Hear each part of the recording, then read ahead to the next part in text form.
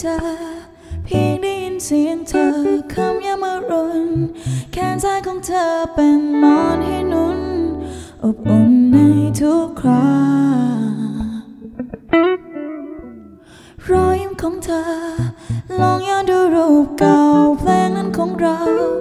ฟังแล้วก็ยังฟังอีกช้าๆแต่ว่าเธออยู่ที่ใด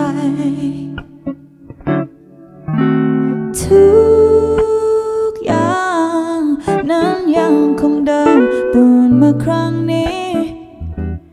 ต่างกันที่ไม่มีเธอ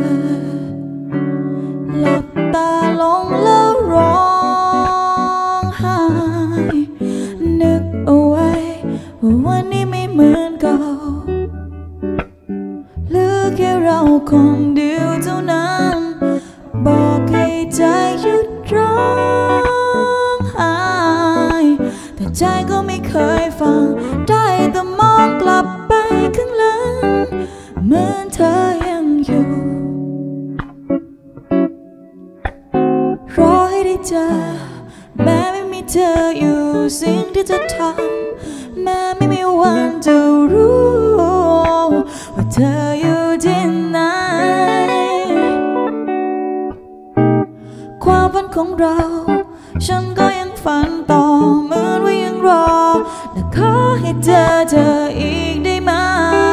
จะกอดเธอไว้ไม่ยอมปล่อยหลับตาลงแล้วร้องไห้นึกเอาไว้ว่าวันนี้ไม่เหมือนเก่าเลือแค่เราคนเดียวเท่านั้นบอกให้ใจหยุดร้องไห้แต่ใจก็ไม่เคยฟังได้แต่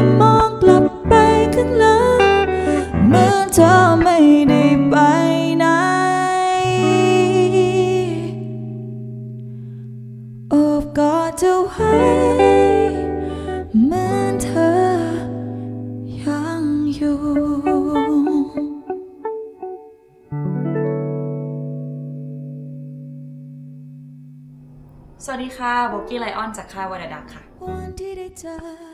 เพียงได้ยินเสียงเธอ จริงๆ ไม่ได้เริ่มมาจากอะไรเลย จริงๆ ไม่ได้ชื่อโบกี้ ไม่ได้ชื่อโบ ไม่ได้ไม่ได้ชื่ออะไรที่มันใกล้เคียงเลยค่ะ จริง ๆ แล้วชื่อกุ๋งกิ่งค่ะ ก่อนหน้านั้นอีกชื่อวุ้นเส้นค่ะ คือเกิดมาชื่อวุ้นเส้น แล้วก็มีพี่ชื่อว่านว่านวุ้น ก็เลยแบบว่า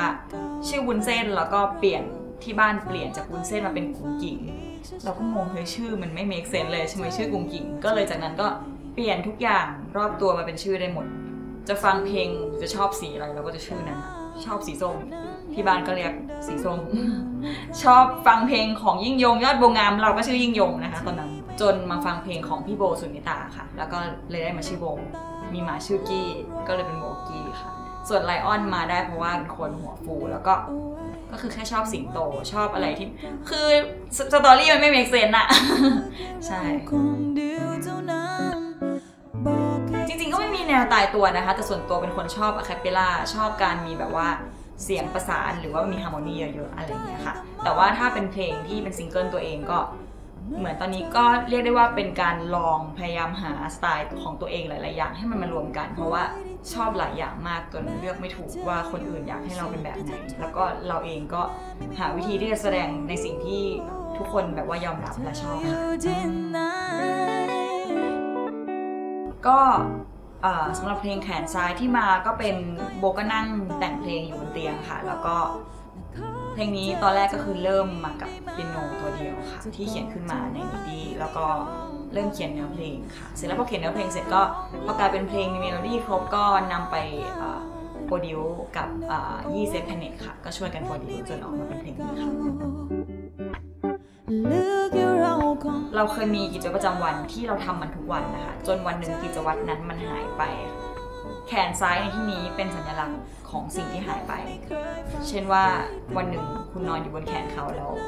วันหนึ่งแขนเขาไม่อยู่แล้วคุณนอนบนหมอนก็คนละ feel กัน ก็สามารถติดตามโบได้ในแฟนเพจโบกี้ไลออนนะคะ IG โบกี้ไลออน YouTube โบกี้ไลออนแล้วก็ Channel วัดดักค่ะ